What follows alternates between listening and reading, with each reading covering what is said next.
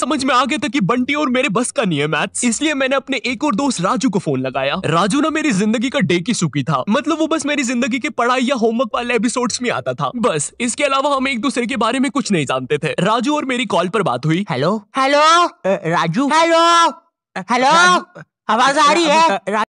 ओ मोटी बुद्धि के! हाँ वो राजू बेटे एक पराठा खाएगा कि दो? मम्मी दो खाऊँगा। हेलो राजू वो बोले बेटे टमाटर की सब्ज़ी बना दो ना। हाँ mummy. Hello Raju control control मैं बोल रहा बेटे कच्चे टमाटर खाएगा कि पक्के? अ, कच्चे मम्मी। राजू बेटे लेकिन पक्के भी तो खाने चाहिए। फिर पक्के बना दो। दो दो सब्ज़ी मैं नहीं बनाऊँगी। राजू कैसे कैसे लोग रहते हैं यार यहाँ पर? और अगर लोग नए हो तो सब्सक्राइब करो। वो जो लाल वाला बटन है, उस पर फूट फेंक के मारो या फिर मोमबत्ती। मुझे नहीं पता, बस क्लिक हो जाना चाहिए।